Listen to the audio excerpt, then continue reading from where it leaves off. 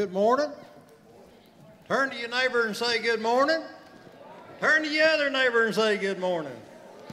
And it's great to see everybody here. It's wonderful to be here. If everybody will stand, first song we're going to sing, You Are My King.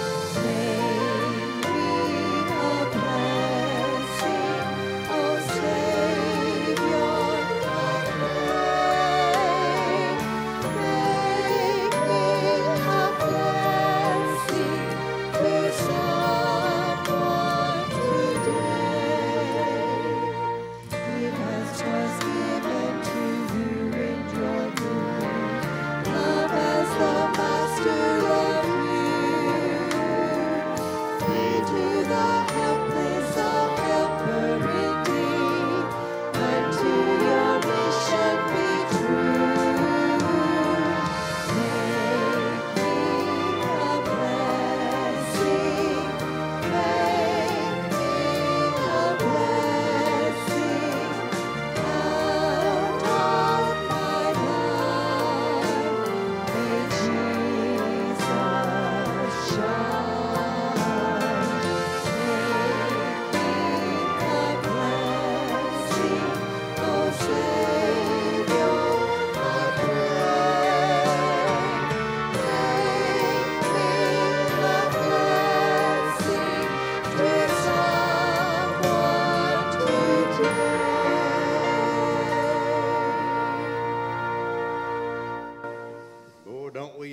blessings in her life.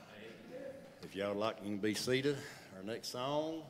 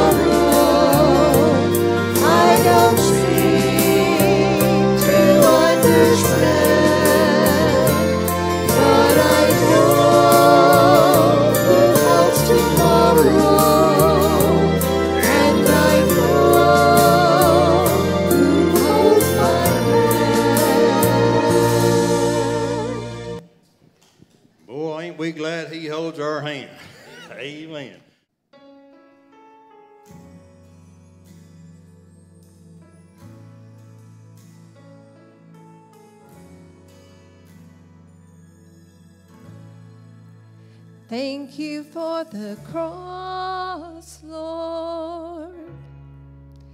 Thank you for the price you paid, bearing all my sin and shame.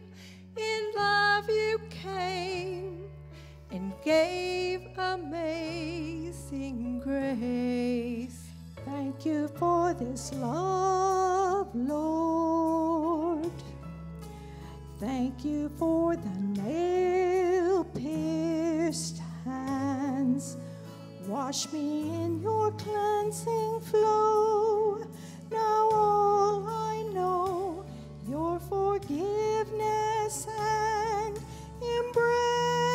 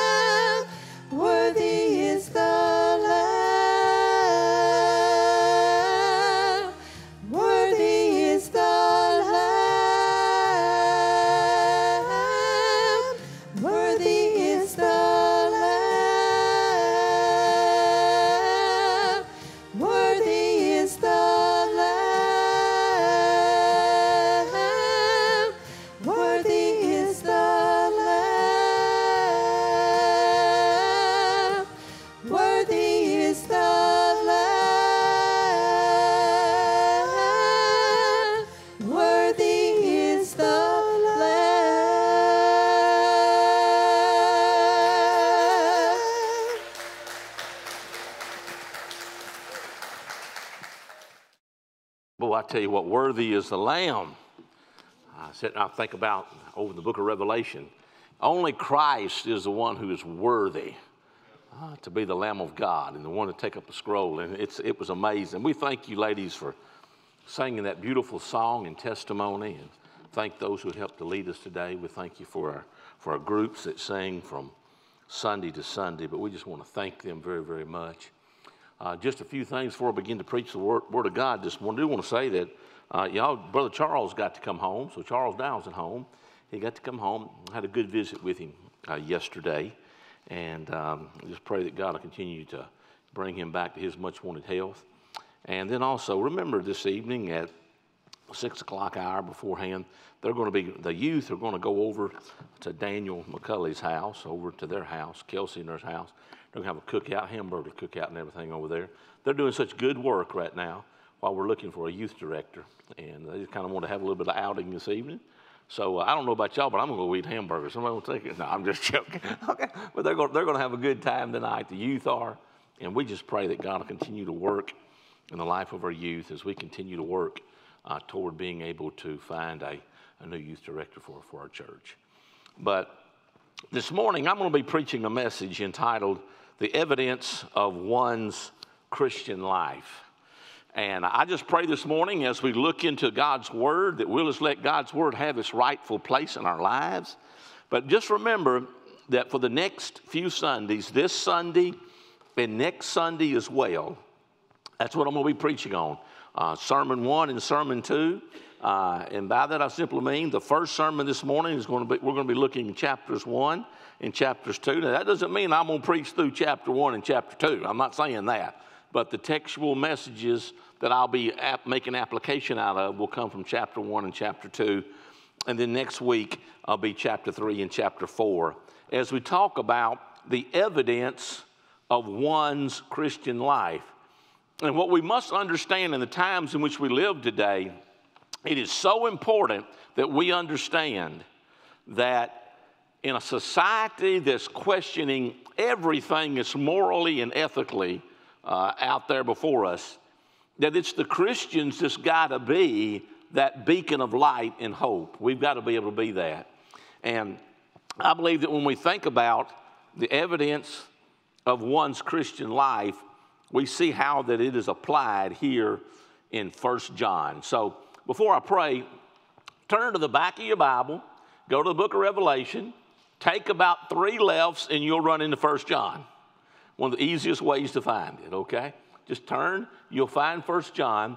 It is a very powerful book, and we're going to be looking at that particular book today. Let's go to the Lord in prayer. Father in heaven, we're thankful for who you are and for what you do in our lives. And Father, I just pray that as we think about your word and we make application of your word in our lives, and we think about the evidence of one's Christian life. May we look into the Word this morning and see how it is so real and so alive and so important for us to realize that when people look at our lives, what do they see? Is there enough evidence there, Father, to show forth that we are a part of the family of God? And I pray this morning that you'll use this message to bring honor and praise to your dear Son, for I surrender it unto you in Jesus Christ's name. Amen. Okay. The evidence of one's Christian life. Well, let me begin by saying this. Today we're going to be focusing here in 1 John in chapters 1 and 2, and then next week chapters 3 and 4, as I made mention of. But remember this in 1 John, when you look at the whole book of 1 John, remember this the aspect of fellowship with God is the major theme. You can begin in chapter 1, verse 1, and go all the way through First John. And the major theme that's interwoven throughout First John is the message of us having fellowship with God. That's a very important message. And we all need to have fellowship with God. And y'all have heard me say this before and I, we must understand something theologically and put it in a right perspective. There's a difference between relationship and fellowship. A lot of times people talk about that and they use them interchangeably. And, and, and, and listen, people unbeknowingly doesn't, don't understand that that's two different concepts. A relationship is what Elena and I have in a marriage relationship. The fellowship is the atmosphere within that relationship. And so, what we've got to understand is that as a child of the living God, we have an eternal relationship with the Father. However, we must understand that the fellowship, many a times, cannot be what it ought to be. Amen? That's true. So, the interwoven concept within First John is the aspect of fellowship as a body of believers and as the born again Christians in relationship to Christ. Not only is it the aspect of fellowship a major, major theme in First John, but in First John, we see this, and we see that God is seen in one's lifestyle. What do you mean by that, Brother Steve? Look, he is simply trying to tell us in First John this you have fellowship with God, and interwoven within that fellowship is a lifestyle. And that's what we're going to find out today. Interwoven within that fellowship is a lifestyle. And we're living in a time today to where even in amongst the church, everything is accepted. And there's where we're having major problems on a national level, morally and ethically, even within the confines of Christendom. And so, when we think about the evidence of one's Christian life, it needs to be implemented in our lives. For centuries, I believe, you would agree with this, that people have related lifestyle with one's testimony of being a Christian. And what do you mean with that, brother? I simply mean this. Do you know that you have a testimony? Do you know you have a witness? It's courting on a lot of times who you talk to who may, who may verify your testimony. okay? So, what we've got to realize is this is that we have a testimony as a Christian, and as it relates to our lifestyle, does it show forth that we are a Christian?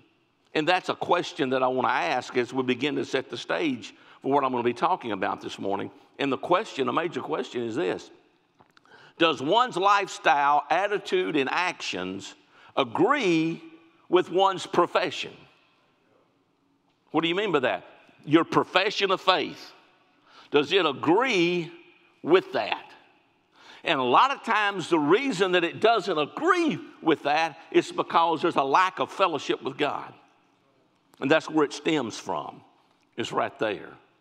So when we look at First John, remember this the framework and the background of First John was the aspect of Gnosticism creeping into the first century church. And it had crept into the church and it was being influential in the life of the church. And it, not only was it present in their society, it was implemented into the church. And the same thing happens today. The society's moral and ethical principles are creeping into the life of the church in which we serve in today. Now, I'm not, I'm not narrow minded on certain things. L- listen to me. I'm not, I'm not narrow minded on all the stuff that we pick on, you know, little stuff. Somebody will say this, and somebody, I, I, little, little stuff, you got to be careful because you become a legalist. And there's one thing, let me share with you I'm not a fundamentalist.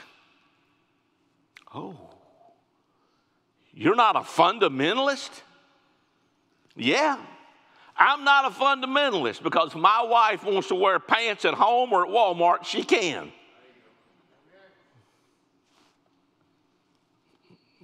Because, anyway. And guess what? She wears makeup too.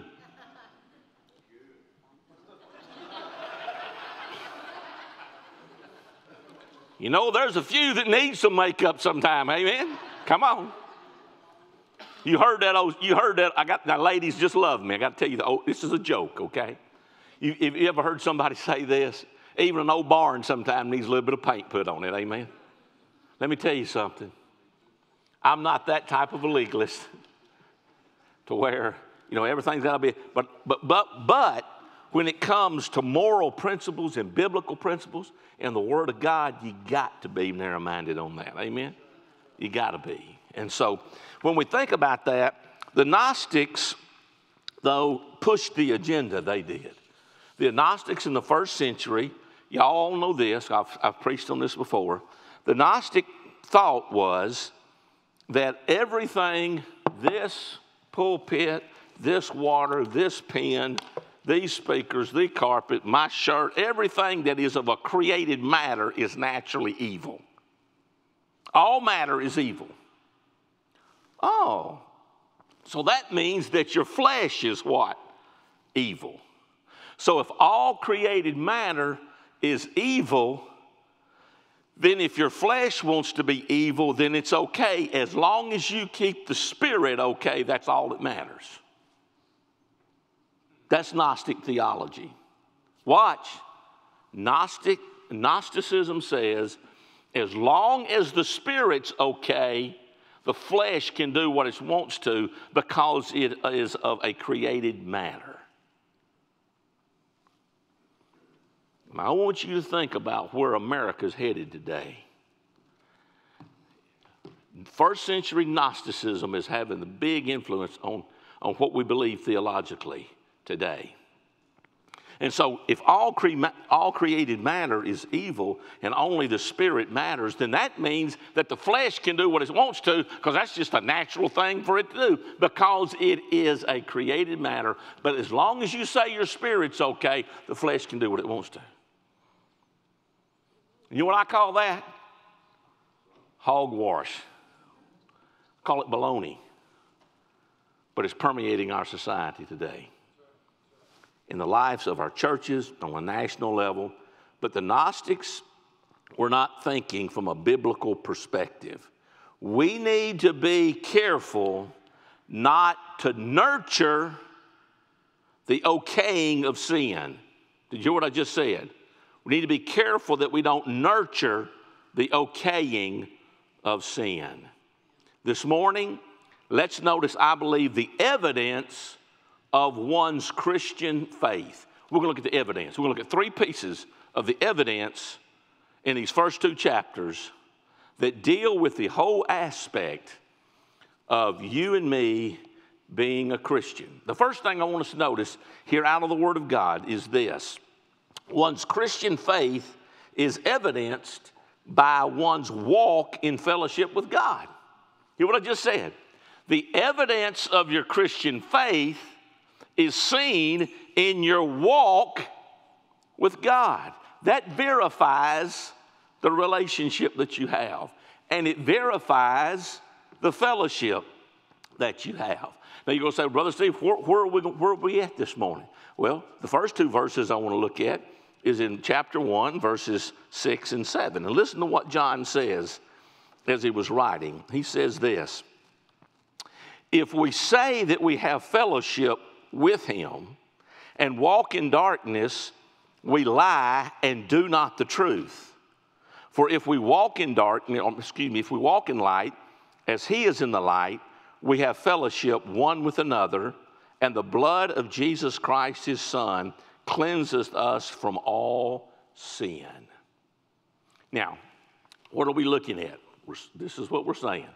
We're simply saying that one's Christian faith is seen in, ev- in, in evidence based upon one's walk in fellowship with God. So when we say that, let's look at verse, verse 6. Listen to what it says. But if we say that we have fellowship with Him and we walk in darkness, we lie and do not the truth. Now, if we're talking about you and I as a children of the living God and the evidence of our Christian faith, one of the ways that the evidence of our Christian faith is seen is the fact that we walk in fellowship with God. And the word fellowship there brings with it the concept of having something in common, what we have in common. So when it says here, if we say that we have fellowship with Him, watch, if we have fellowship with God, if we have, well, y'all, we're getting ready to see some good stuff here in a little bit, okay? I'm gonna bring out some stuff. I, man, I just, when I start doing this, I just eat it up, okay? Like eating homemade ice cream. Anyway, in a little bit, we're gonna look at some stuff. But what I'm saying is this He is simply saying that one of the ways that your life and my life shows the evidence of a biblical Christian life and faith is that we have something in common. And that's what he, the word fellowshipper means to bring together on a common ground in fellowship with one another. Then he uses another word that's very powerful. Not only do we have something in common, do we have fellowship with him, but then he says, and walk in darkness, then we lie and do not the truth. So what he's saying is this you can't say that you have something in common. That's, that's the way he's using the Greek there. In common, but yet you walk in darkness. And if you do, he says you're a liar. That's pretty good stuff. And then he moves on and watch what he says here. He says, if we say that we have this in common with him and walk, that word, uh, y- y'all, y'all just hold on for a little bit. Don't you follow me, because this is explosive stuff, okay? When he says, and walk in darkness, that word walk in the Greek is a present subjunctive, meaning simply this the habit form that you live in. It means of a habit or a continuation. That's the usage in the Greek. So what he's saying is this: if we, y'all, you got to follow this, and America needs this today.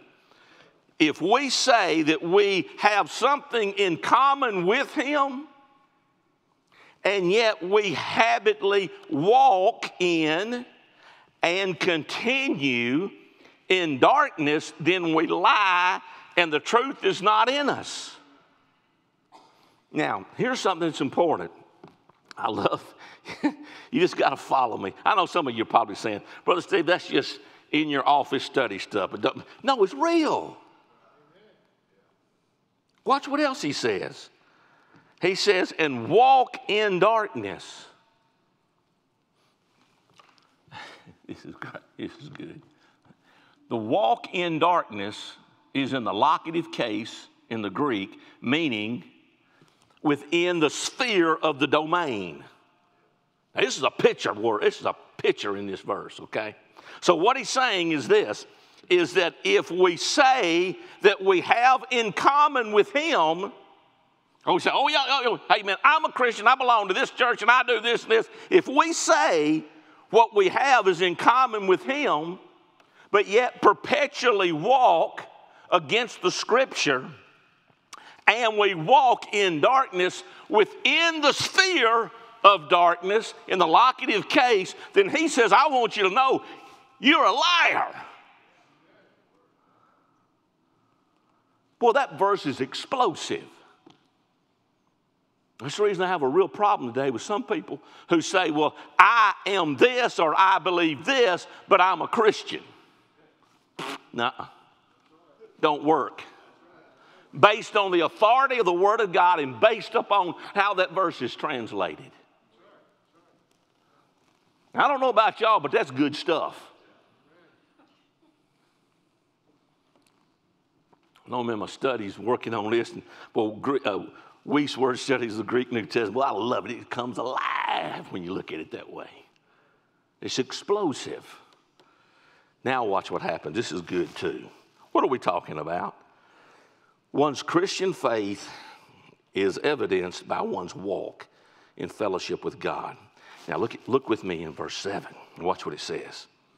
But if we walk, same concept, again, the present subjunctive mean if we walk in habit form, in action, if we walk in the habit form, in the light, y'all know what the light is, don't you? That's truth. So if we walk in the light, as he is in the light, oh, watch what he says. Then we have fellowship one with another. And the blood of Jesus Christ, his Son, cleanseth us from all sin. Wow. So, what he's saying now, he turns the coin over and he says, But now, if you walk in the light, as he is in the light, we have fellowship one with another. And here it goes again. You got, this is explosive. Okay, I love it when I, when I run across this.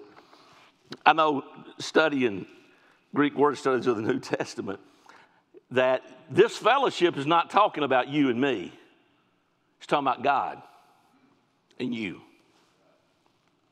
That's what it's talking about. And then I'm going to tell you what that, what that really means. Explosive. It's simply saying if we walk in the light as He is in the light, we have fellowship. Remember, fellowship, we have that. One with another. If we walk in the light, we have fellowship one with another with God. That's who He's talking about. And here is what's amazing about that. oh, I like this. it's a reciprocal pronoun in the Greek, which means this what is good? If you and I walk in fellowship with Him, we walk in a reciprocal fellowship with God if we walk in the light with Him. That's explosive. That's telling me this if you walk in darkness, you don't have it. But if you and I walk in the light as He is in the light, we have a, it's a reciprocal usage there. One another is a usage in the Greek, meaning that if we walk in the light as He is in the light, we have a reciprocal fellowship going on. Boy, that's great. That's some, that just, that just, man, that's powerful.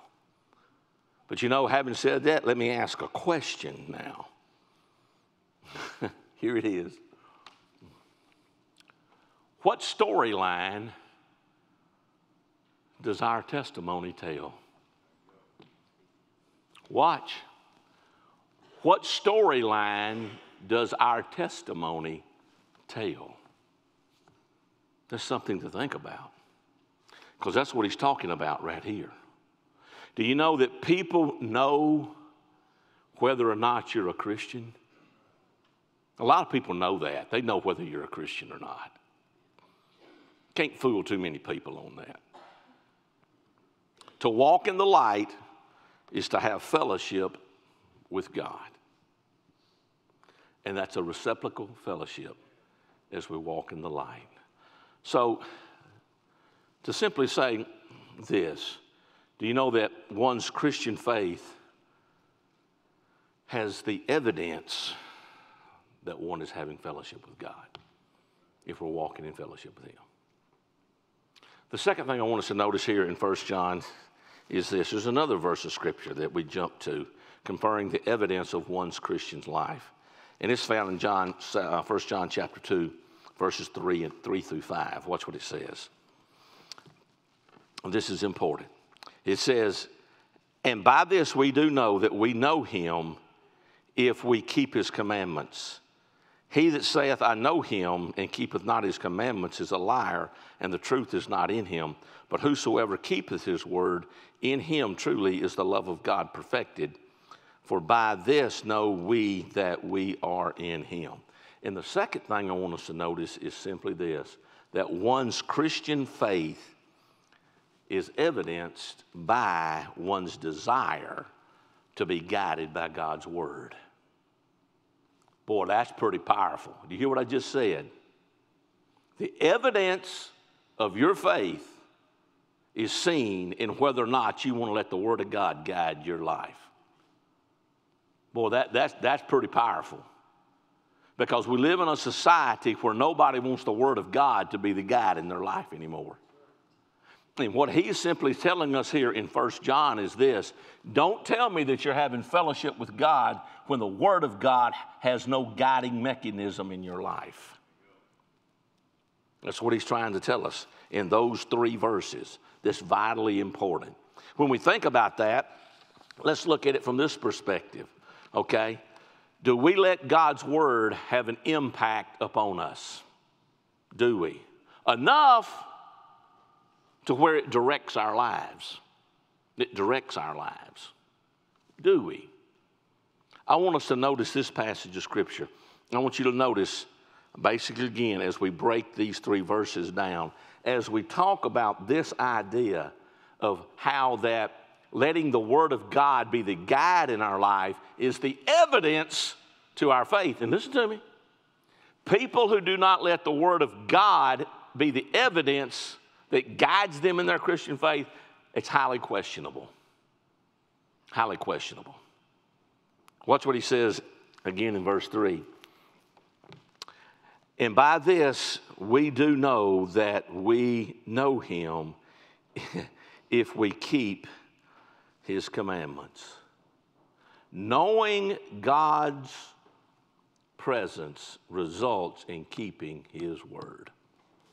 That's it. What, what are we talking about? We're talking about this. We're talking about the whole aspect of God's word being the one that guides us in life.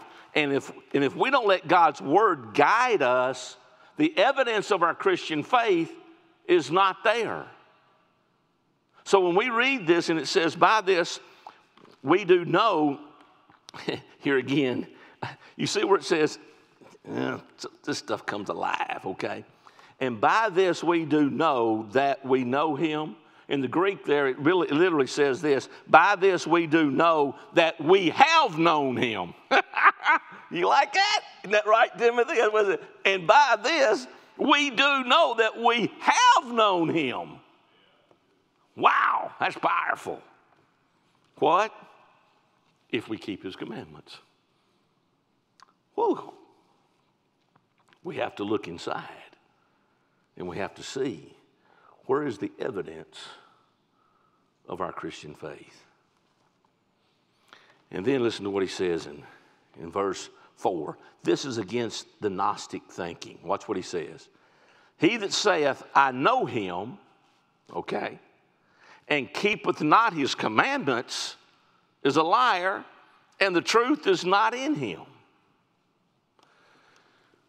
None of us are perfect. Come on. And you know, and I tell people, and I don't mean this to be derogatory or anything, I sin every day.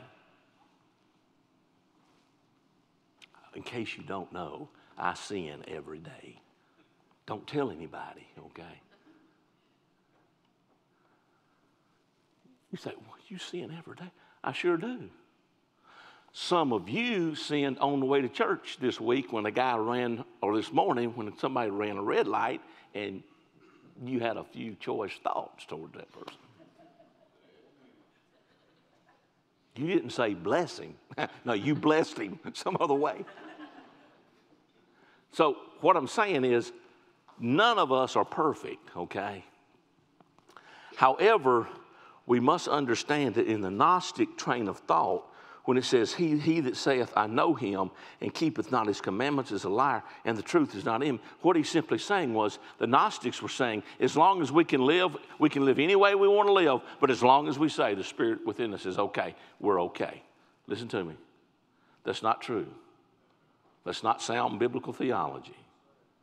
And we've got a society today that is okaying every sin in the world because they're saying that it's okay when it exalteth itself against the knowledge of God and against the Word of God. And the Word of God calls it what it is. And you cannot say that as long as my spirit's okay, it doesn't matter what the flesh does. It's not biblical. So when you and I think about that, you remember verse 4. Now, look at one's faith and the evidence of one's faith is found in verse 5. It says, but whosoever keepeth his word, in him truly is the love of God perfected, which means the love of God keeps you in fellowship with him. Wow. And then he says, and by this know we that we are in him. You know, one of the best ways to know that you're a Christian? You know, you know one of the best ways to know that you're a Christian? Real simple. Do you want to follow God in His ways? It's the best way, that, that verifies it. Or are we living in a con- con- continual, perpetual, rebellious state against God? That verifies that. So when we look at it based upon the authority of the Word of God, we must understand one's faith that is lived out shows forth the evidence of one's Christian life. And it's very, very important that we understand that.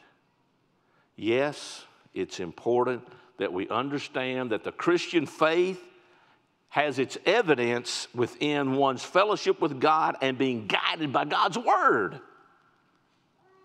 Both of those. Now, quickly, I don't have it about four minutes. Here's the last thing I want you to realize is this. Do you know that one's Christian faith is evidenced by choosing God's path? When we choose God's path, we authenticate our faith. We really do. Choosing God's way and His path is manifested by the children of God. How do we respond to the world around us? Here it is. Look what it says in verse 15 and following of chapter 2. Love not this world, or love not the world, neither the things that are in the world. If any man love the world, the love of the Father is not in him. For all that is in the world, the lust of the flesh, the lust of the eyes, and the pride of life is not of the Father, but of this world. And the world passeth away in the lust of it, but he that doeth the will of God abideth forever. Wow. Verse 16 is a there's a big question there. And the question is this who are we influenced by? See, our Christian faith has its evidence based upon whether or not we're choosing God's path in God's way. And then in verse 17 as well, do we let God's purpose and will be fulfilled in our lives? That authenticates us letting the will of God be made productive in us. So when we begin to think about this and we bring it all together, these, these three segments of verses, let's make the application out of it. The application is simply this Do people see enough of Jesus in us to where they know that we are a Christian? Wow. How much evidence do we possess? Pretty good question. Bring it all together. Here it is. Do people see our faith in our walk with God? That was point one. By letting God's word guide us in life? That was point two. And by choosing God's path? That was point three. Think about that. What is the evidence of your Christian faith and my Christian faith? Will you bow your heads?